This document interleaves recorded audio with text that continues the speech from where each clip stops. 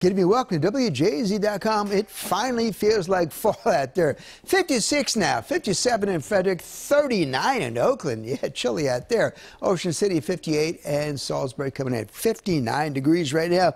Around the rest of the region, temperatures upper 50s to the low 60s. It'll be back in the 40s tonight, but we do have clouds, and yes, a period of showers moving across Ohio. Late tonight, the clouds move in. Early in the morning, we may see a period of some light shower activity. Then it stays cloudy to maybe noon, and then it clears out.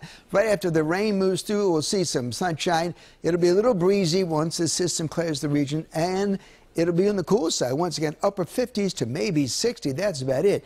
Now, Futurecast isn't showing much rain for us. In fact, it's not even showing that much at all. But we do expect to see at least some of those showers. Then it clears out nicely by the afternoon.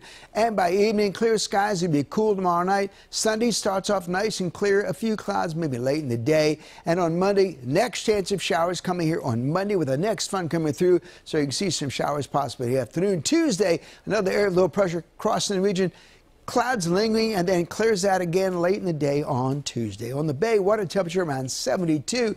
Kind of breezy northwest breezes tomorrow, 10 to 15 with gust to 20 by late afternoon. Tonight, clear and chilly, much lighter winds, generally 5 to 15 overnight, which had a lot lighter than we had early today. We had winds 30 25, 30 miles an hour, so it will be lighter. 46 with the clouds moving in, a few showers in the morning, otherwise then becoming partly sunny. A high near 60, west winds 6 to 14 or so. And then on Sunday, 63, a few clouds, rain at times Monday, clouds lingering into early Tuesday, then it clears up. Chilly at night, down to 40s again. 62 Wednesday, only 56 on Thursday. A real nice November kind of day on Thursday, and then 62 49 on Friday. Have a great weekend with an updated forecast late tonight.